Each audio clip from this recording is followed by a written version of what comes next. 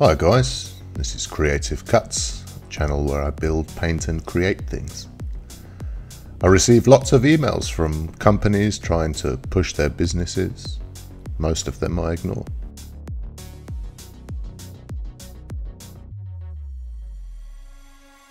However, when the peeps from Creality reached out asking if I was interested in trying out their Halot Mage Pro 3D printer, I didn't have to think twice. They were very easy to deal with, and when I received the delivery notification, I was pretty excited. The agreement was to review the printer and to also build something with my prints. So in this video, I'll give you a completely honest review of the printer and let you know how I got on using it. I will be back to my usual building videos soon, so if you don't want to miss anything, then hit the subscribe button, support the channel by hitting the like button, and let me know in the comments below if there's anything specific you would like to see me build. When the delivery came, I was greeted with a pretty big heavy box. Then the delivery driver went back to his van and pulled out another big box. Huge props to Creality here. Not only did they send me a printer, but they also sent me a wash and cure machine too. Thank you, and a really welcome surprise. So like a kid at Christmas, I began to open the boxes. There was clearly a process to opening the box, and after a little head scratching, I saw they had these two handy release catches. Once removed, the lid of the box came off easily. The printer looked really well packed and is always a sign of a quality product in my opinion. I continued removing the packaging and then the next feature became apparent. I had a couple of 3D printers already and there's always the constant faff of taking the lid on and taking it off finding somewhere to put it. It's a small gripe, but Creality seemed to have solved this by hinging the lid and flipping it up like a visor. Now if I said I didn't play with this for longer than I should have, with a huge smile on my face making sci-fi noises, I'd be lying.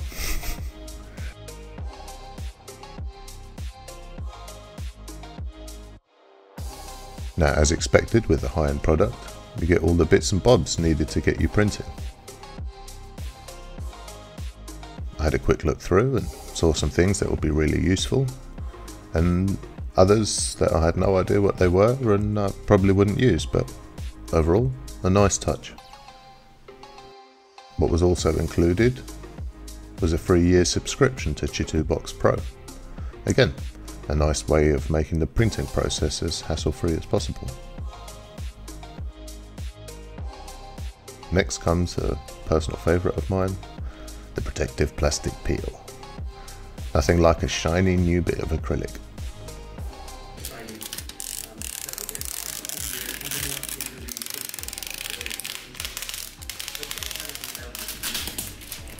And with everything open, I could get my first real look at this machine. And what struck me immediately was the size of the thing. Much bigger than both my other printers, but on first impressions, it looks like a really quality product. I went through the same process with the wash and cure machine. Again, well packaged, a bunch of freebies and parts included. And lots more protective film to peel.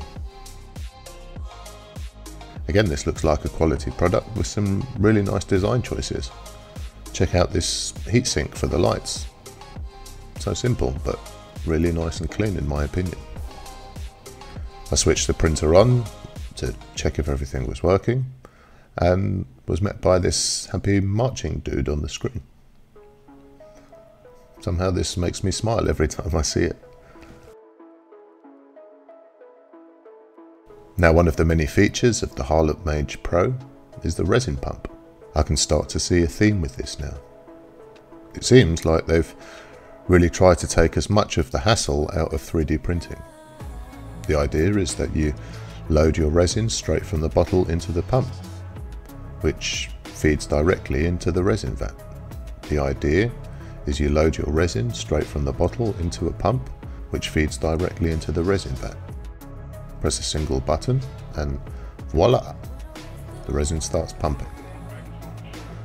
Now, I'll be 100% honest here and say that whilst I was very impressed with the printer build quality overall, this aspect felt a little cheap, very plastic, and the spout where the resin feeds into the vat looks a little cheap and fragile.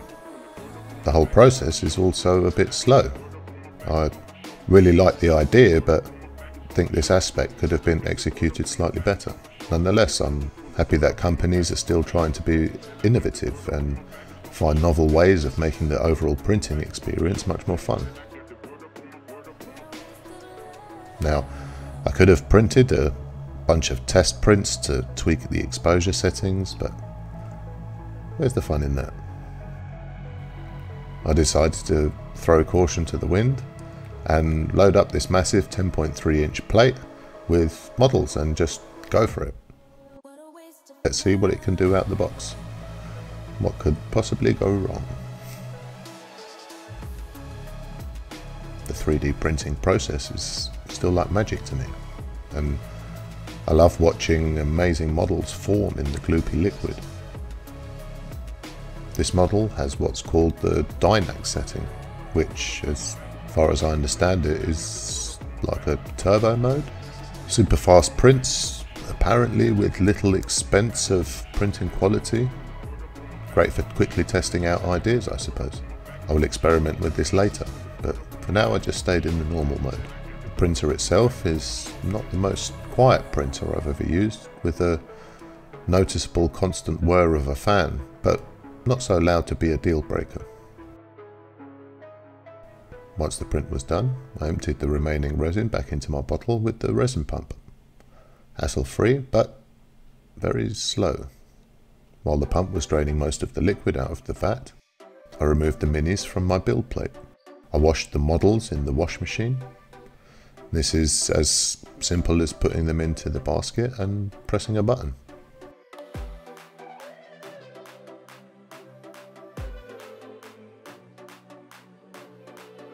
Once washed, I put the models on the supplied mirrored disc and pressed the button to cure them. the models went flying after the first rotation and I chuckled realizing there's a choice of speeds. After correcting my mistake and setting it to normal speed, it worked perfectly.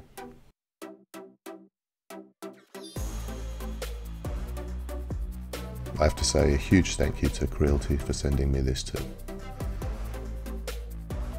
I had made a strange MacGyver UV curing station with an old plastic pot and lots of UV LED strips and a washing station which consisted of a couple of jars of alcohol this worked, but it was a lot of faff and usually pretty messy.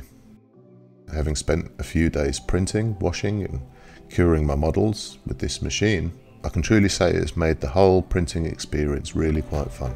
I can thoroughly recommend this machine if you're on the fence about getting one, and trust me, it's a quality of life product that you'll kick yourself for not getting one sooner.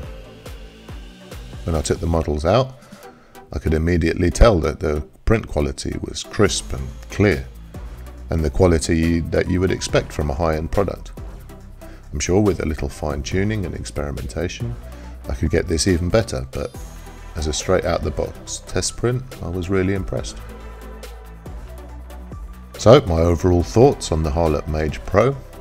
A quality, well built, well thought out bit of kit that has been in constant use ever since I've got it.